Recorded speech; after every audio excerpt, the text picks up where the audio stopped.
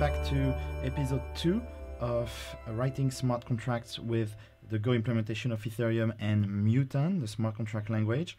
Uh, my name is Stephan Tual, I'm the CCO for Ethereum, and today we're going to look exclusively at installing, how to install uh, the Go implementation of Ethereum on top of OS X Mavericks.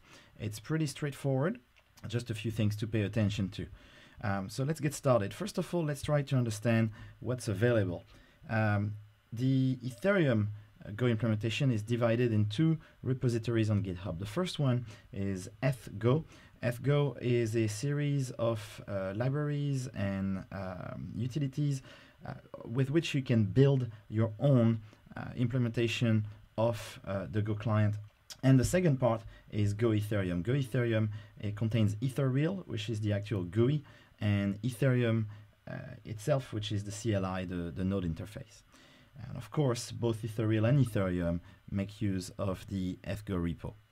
Now, the below should you should work with just about any OS X uh, Mavericks installation. Now, what I'm using in this particular uh, tutorial recording, I'm using this uh, thing called Parallel. There's a 14-day trial, allows you to run a virtual machine on top of your Mac. And I find it quite convenient to use snapshots. Uh, when I make a mistake, I can revert back very quickly uh, without having to worry about uh, damaging my install. So um, the other thing before we get started that you should have a look at uh, is potentially uh, this uh, code.ethereum.org website, which currently doesn't display very well on the virtual machine, um, but it contains binaries. When we make binaries available for OS X, uh, you'll find them there. Of course, anytime you download a binary, don't expect to have uh, the latest and greatest code. You'll get that particular release, and that's it. So building from source, what we're going to, to going to do today, is uh, the best way to get the latest and greatest code for Ethereum Go client.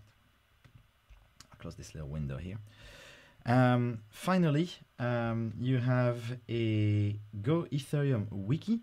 Uh, the Go Ethereum wiki contains uh, everything we're going to look at today, plus a lot more, including JavaScript API, JSON, RPC API, and so on and so forth.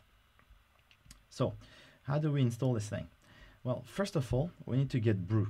Brew or Homebrew, it's the same thing by the way, uh, is a package manager for OS X. Now there's a very simple line that you can copy. It's a Ruby line. OS X Mavericks comes with Ruby installed right outside the gate. So I'll open terminal. I've copied that command. And I'll paste it. Now, it wants my password. This is a, a, good time to remind you that at no point during this tutorial do you need to use the sudo command, or sudo, depending on how you pronounce it. Um, you don't use sudo to install normal apps on OS X, so why would you need it here? It's probably best not to use it. Press enter. Ah, it wants the Xcode and conveniently allows you to download it. So I'm gonna pause this recording because this takes a couple of minutes and then I'll come back when it's all said and done. Okay, we're back. Um, so I'm getting this little message that the software was installed. Brilliant. Press done. I'll close Safari so you can see a little bit better what we're trying to achieve here. Make this window a little bit bigger. Uh, the installation is completed, so I press the key, and now it's going to download and install Homebrew. Now this is, while it's doing this, uh, just a quick reminder that all the commands, uh, everything I'm typing here has been documented in a simple tutorial. Uh, it's located on our forums, as you can find the link in the description of this video.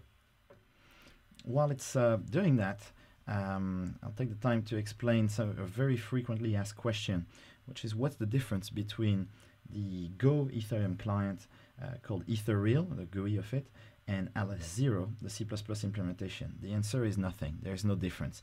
They both implement the same white paper um, and yellow paper as written by Vitalik and, and Gavin respectively.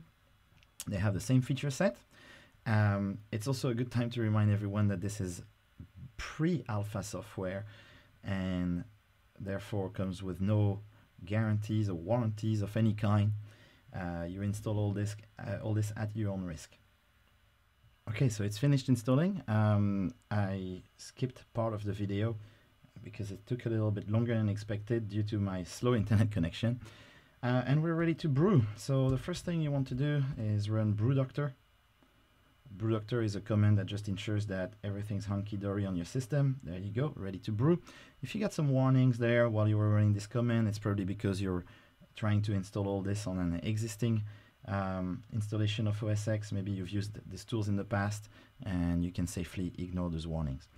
Um, the next thing we need to install is Go. Uh, Go is, the, of course, the programming language. So we run the command brew install Go.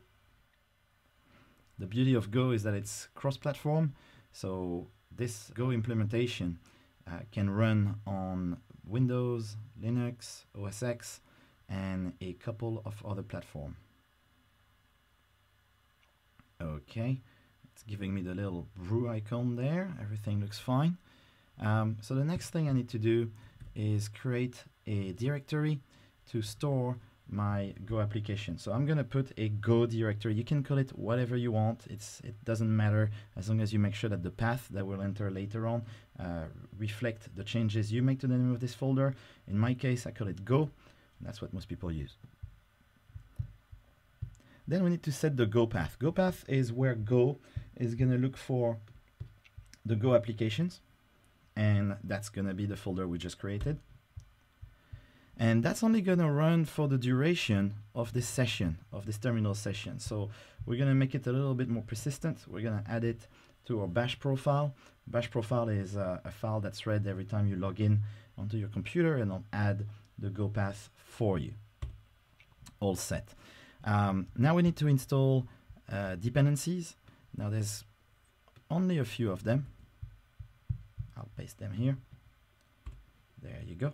So we got Mercurial, obviously the source control software, uh, GMP, which contains some of the functions that, that the underlying Go client implementation require. LevelDB is of course the database, and Qt5 is the GUI libraries that the Go client uses. So we'll take a break. I'll come back when this is finished.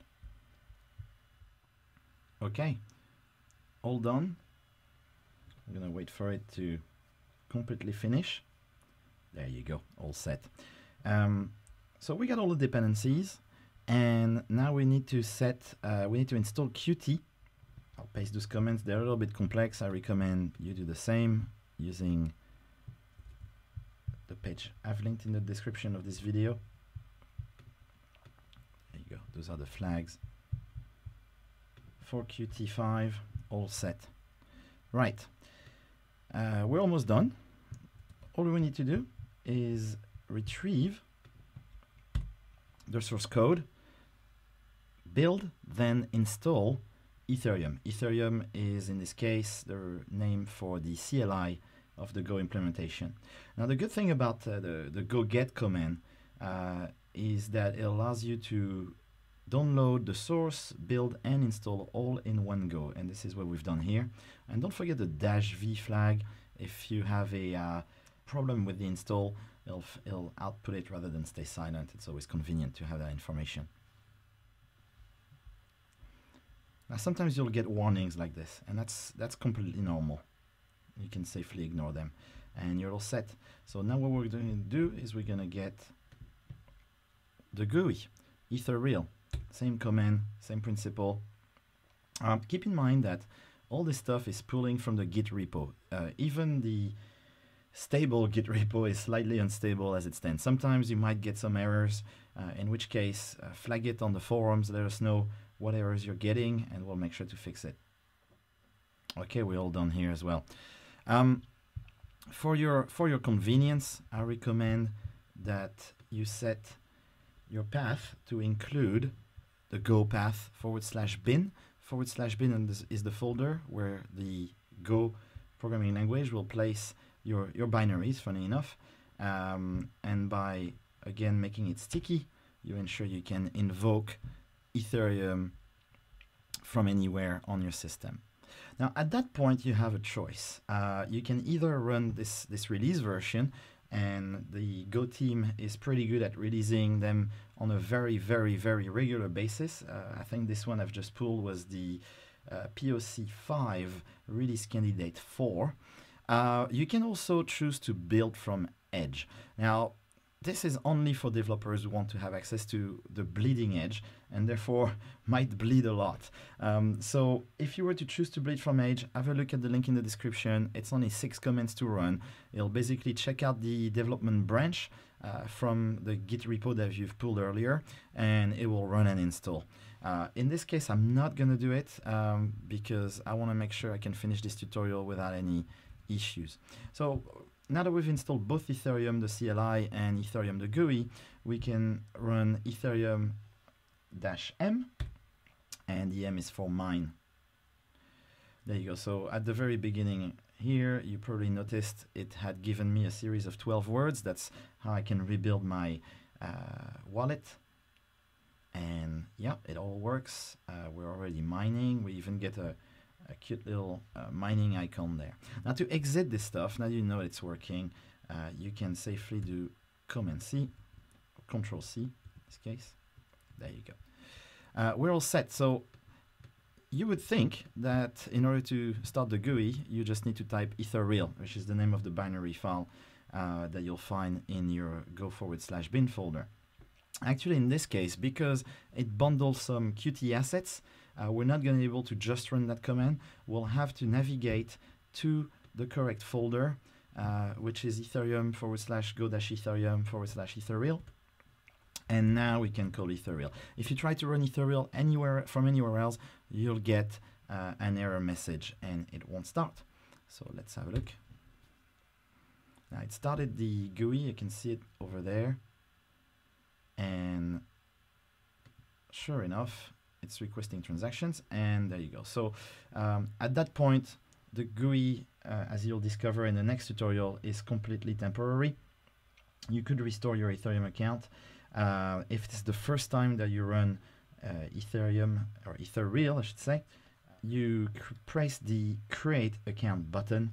Uh, you'll get uh, a screen asking you if you want to recover uh, from a previous account you don't have to, since you don't have one, you'll have to exit and restart Ethereal in order to get past that first screen. There you go. And now you can restart it again. Because it's a testnet, I tend to not really worry about keeping track of my accounts and my addresses unless I'm holding a large quantity of test ether. And there it is. Um, so keep in mind that the GUI, again, is a work in progress. For example, uh, it doesn't track all the blocks necessarily up to the latest one, uh, but you can find them in the console. Um, also, ignore all the QNSView handle tablet events. Uh, those are uh, bugs in the Qt implementation of the GUI. But it looks like it's working. So the last thing before we uh, finish this video, uh, keep in mind that you can press Command P to connect to a peer. Okay, well, we're all set. Um, have fun with it. Uh, don't forget to watch our next video on how to write smart contracts using Mutan and this wonderful GUI. And I'll see you in the next one. Bye.